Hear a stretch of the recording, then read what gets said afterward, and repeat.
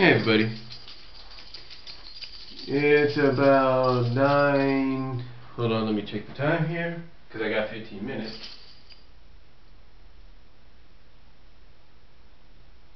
It's about 9.38.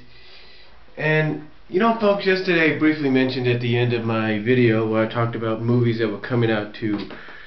Well, coming out or being re-released to 3D yesterday. I kind of briefly mentioned that some of the mov that movies that I kind of mentioned at the end about movies you could get basically the newer movies you can get for a lot cheaper than you expect. Know, it's no lie, folks. It's, it's no lie. A lot cheaper than you expect.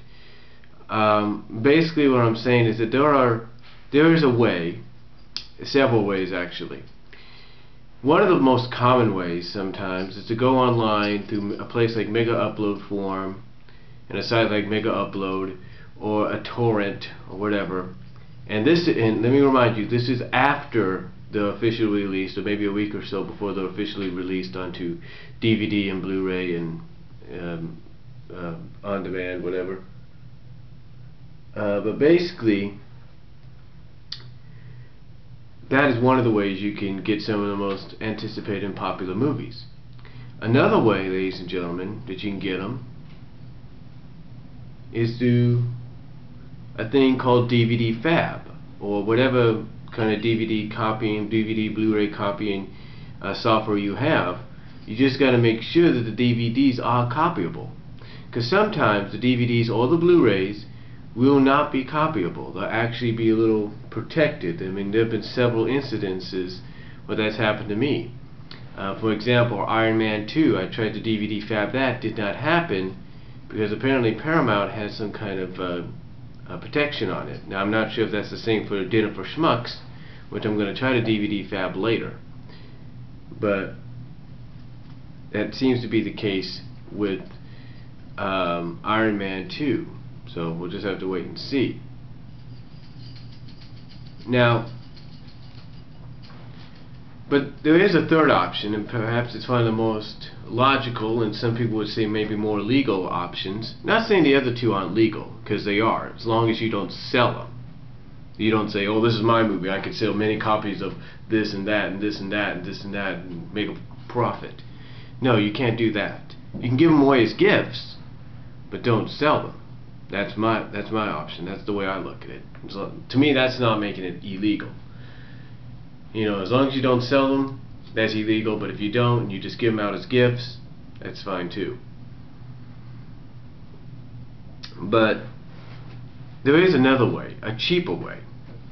Now, we all know in the past few months, since about September, or August, that many superhero movies have been hitting um, DVD and Blu-ray.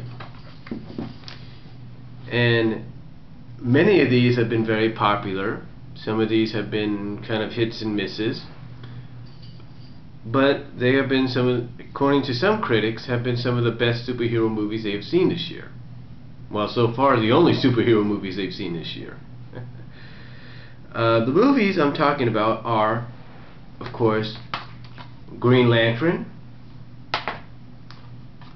X-Men First Class, Thor, and Captain America. Oh, and just to let you know, I added Iron Man finally. I gave the Iron Man 2 movie I showed you in a uh, response video I did to Zero Nazarak's Mega Marvel uh, video. I finally gave it a cover. So, there you go. And that's just an example of doing it the torrent way. But besides that, these four right here, my friends, these four right here, on average, if you try to buy the Blu-ray, on average, cost you about maybe 15 to 13 to 20 bucks, basically on average for these, for DVDs. And the reason I say that, it all depends on whether you get the gift set, a dual disc, or whatever. Basically, two a double a two disc set. But on average, it costs you about 13 to 20 bucks. Now, if you did the Blu-rays, the Blu-rays of these movies would cost you about 15 to 25 bucks. And again, that all depends if you're doing single, digital cop, uh, two disc, which is the DVD, the Blu-ray, and the digital, or three disc, which is the uh, not three disc, but the two disc and digital copy deal, which is the DVD, Blu-ray, and a code for the digital copy. Or if you're getting the gift set. It all depends. So on average, the Blu-rays would cost you about 15 to 25, maybe 30 bucks. But right here, the DVDs, now right here, these movies though, I got all off on demand, and they were basically $4.99 each on standard play. Basically stating they were 5 bucks each. So within the span of this week, for 20 bucks, literally, five, 10, 20, 10 and 10, for 20 bucks, I got the movies. And that's a lot, and that's pretty cheap. Now I know you say to yourself, well if you would have gone to the Black Friday sales after Thanksgiving, you probably got them that much as well. Maybe, maybe not. But for 20 bucks, you can't go wrong with these movies on DVD. But it all depends if you have a DVD recorder, a Blu-ray recorder, a DVR, or even a v even if you still use it, a VCR recorder. But you see, it's not, but you see, it all depends though on your TV format. Now if you have a regular standard television, there you go.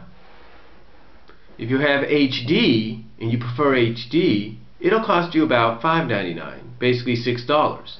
So you'd be looking at 12 and 12, which would be 24 bucks. So 24. Not too shabby. Right? Then again, if you have if you prefer 3D, that's right, they have a 3D option, then that would cost you about 7 bucks. So you'd be looking at 14 and 14, essentially 28 bucks.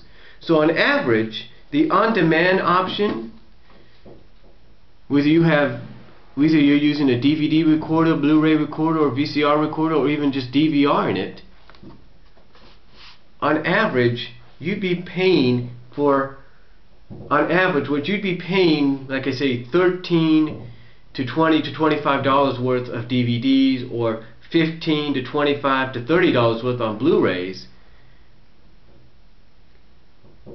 On average, for 20 to $28, you'd be paying for this. You'd be getting those same four movies for this. Because think about it. On average, if you just got, let's say, a single disc, 13, 13, 26, too. If they cost both $13, 13, 13, 26, and then you add another 26, you wanted to get the other two, on average you'd be looking at $52. Now, let's say you went the 20 route, you'd be looking at $80. And of course you went 25, you'd be looking at 100. The 30, well, 120. You get what I'm saying? But on average, you look between the 15, the 13, between the price ranges of 13 to 30 bucks. And that's counting D DVD sale, DVD versions and Blu-ray versions. If you were to get these, buy these four all together at the same time at a store, they would cost you, like I say, on average of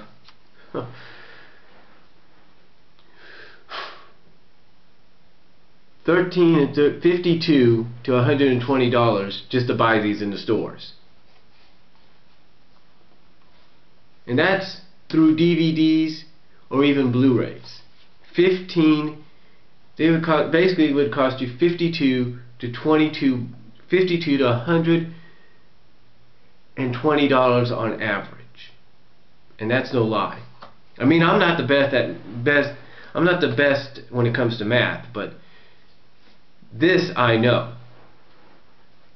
So on average, when you so on average, you can actually be saving a lot of money. On average, my friends, you could be saving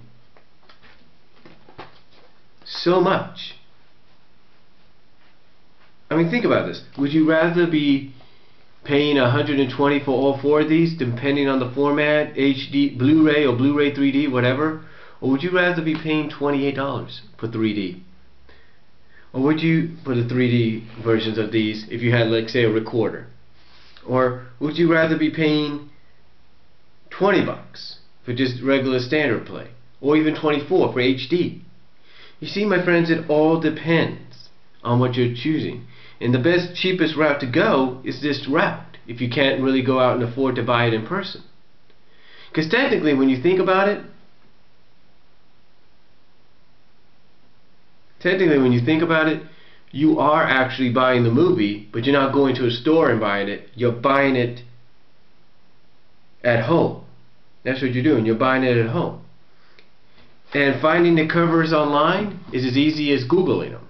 All you have to do is say Green Lantern 2011 DVD cover or Blu-ray cover or Captain America or Captain America or Thor or X-Men.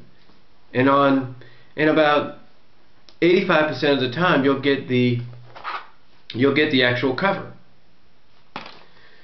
So basically what I'm saying folks is that right there on title you can see it MOD, the movies on demand, are a cheaper way to go, a cheaper way to buy and own movies, a cheaper way to own movies. The MOD, movies on demand, are a cheaper way to own movies. Especially, and you see it in the description box, if you have a DVD recorder, Blu-ray recorder, or DVR, or even a VCR recorder. And you know it's true, folks you know it's true. So that's all I'm going to say. Comment down below if you agree with me, and I'll talk to you all later.